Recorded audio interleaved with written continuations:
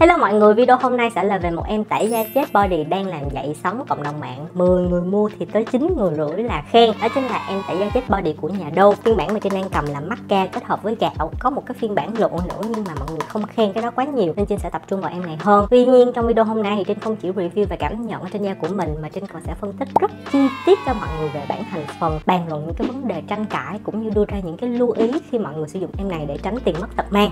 Let's go!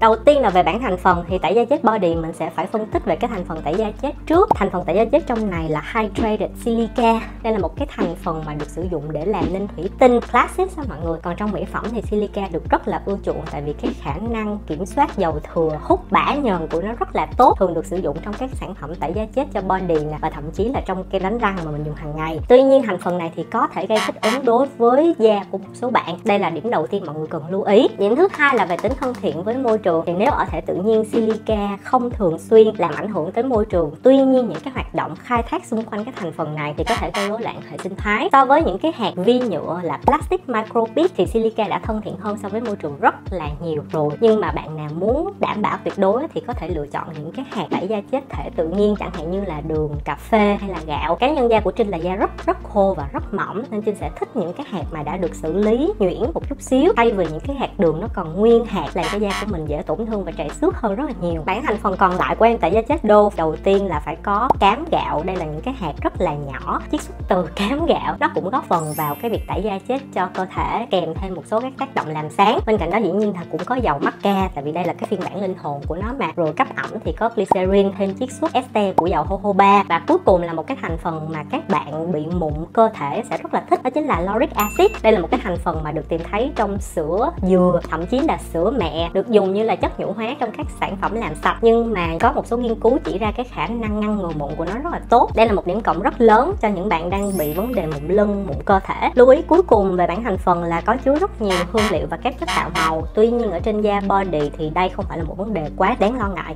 Trừ trừ trường hợp da bạn đang rất nhạy cảm hoặc là đang bị một số chứng bệnh về da, chống chỉ định đối với những thành phần này tiếp theo là cảm nhận ở trên cơ thể mình như thế nào. Đầu tiên là về mùi hương. Đây là một cái mùi hương rất là nhẹ nhàng rất là sang. Nó có hơi hướng dừa một chút xíu gợi nhớ cho trinh một cái loại xà bông khi mà trinh dùng ở bên pháp và gợi nhớ cho trinh về hình ảnh của bà ngoại ở bên chồng không biết tại sao. So với những cái dòng tẩy da chết body của nhà The Body Shop á, thì mùi hương của The Body Shop nó sẽ mạnh mẽ hơn nó nồng hơn rất là nhiều. Đặc biệt là những cái phiên bản mà hoa quả và cái độ lưu hương của nó thì sẽ rất lâu. Còn đối với nhà đô cái mùi hương của nó nhẹ nhàng nhất là đối với cái phiên bản masca và cái độ lưu hương của nó trên đánh giá là chỉ tầm khoảng cỡ 30 phút cho đến một tiếng đồng hồ sau khi mà mình tắm xong thôi. Và nếu mà mình bôi một cái lotion có mùi hương thì nó rất là dễ dàng ép đi cái mùi hương của chính cái sản phẩm tẩy cái body này, vừa là điểm cộng, vừa là điểm trừ ha. Nhưng mà tiền nào của đánh, mọi người chính thấy lưu hương như vậy cũng là ok rồi. Tiếp theo là cái điểm best selling của cái sản phẩm này chính là cái hạt tẩy da chết, mọi người. Nó mịn, kinh khủng khiếp luôn. Cuộc đời trên chưa bao giờ tại một cái sản phẩm tẩy da chết body mà cái hạt nó mịn như thế này. Cá nhân da của mình là da rất khô và nhạy cảm và mình rất lười tẩy da chết luôn. Tại vì mỗi lần mình cảm thấy cái hạt đó nó lên da của mình nó sẽ một là nó rất mạnh mẽ nó làm da của mình hơi khó chịu một chút xíu. Còn không là mình cảm thấy cái hạt nó quá to nhưng mà nó không có đủ sắc nhất là những cái dạng gel mọi người nên là xài nó không có đã. Nhưng mà đối với bạn này á, là cái cảm giác đã của nó đi tới từng cm